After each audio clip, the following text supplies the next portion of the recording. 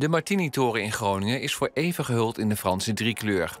Op het plein ervoor herdenken enkele honderden mensen de slachtoffers die omkwamen bij de aanslagen in Parijs.